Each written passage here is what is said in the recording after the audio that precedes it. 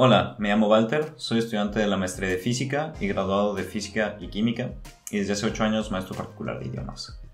Estoy proponiendo tutorías en física y química, de las cuales me gradué con honores, y en matemáticas, y cursos intensivos de idiomas con duración de dos meses y con al menos 5 horas a la semana. Te cuento un poco de mí.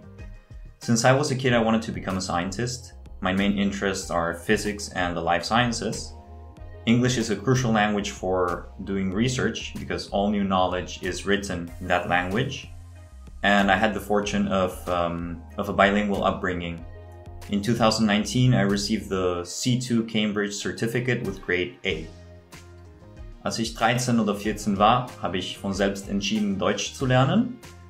Seitdem habe ich in Österreich ein halbes Jahr gelebt und wohne jetzt seit knapp einem Jahr in Deutschland. In 2015 habe ich mein C1-Diplom bekommen und das war einer der wichtigsten Tage meines Lebens, wo ich stolz auf mich war wie noch nie.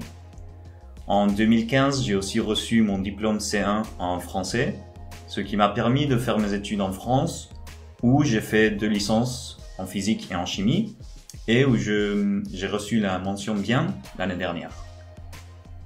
Um, året 2013 hörde jag svenska språket för första gången i mitt liv och det blev omedelbart mitt favoritspråk.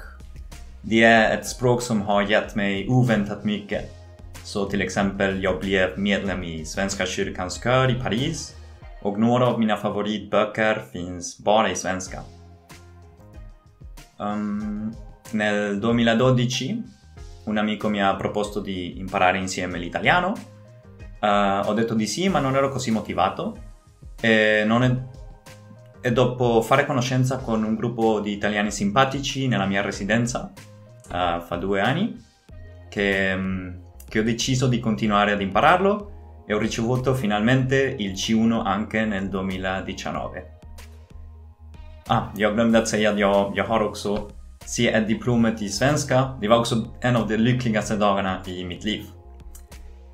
I uh, finalment el 2011 vaig escoltar per, pri per primer cop el català i uh, quina llengua més graciosa. M'agradava molt simplement conèixer com, com es deien les paraules en català perquè són, són com castellà però un poc diferent.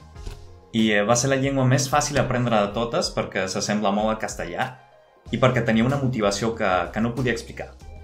És simplement volia aprendre aquesta llengua i és per això que recomano que aprenguis una llengua que t'atregui. Y si es conmigo que quieres aprender, mándame un mensaje o un WhatsApp y podemos tener una primera entrevista por Zoom. Entonces, estoy ofreciendo tutorías en física y química y en matemáticas, para todos los niveles, universidad incluso, y cursos intensivos de idiomas con duración de dos meses, con al menos cinco horas a la semana. Gracias por tu atención.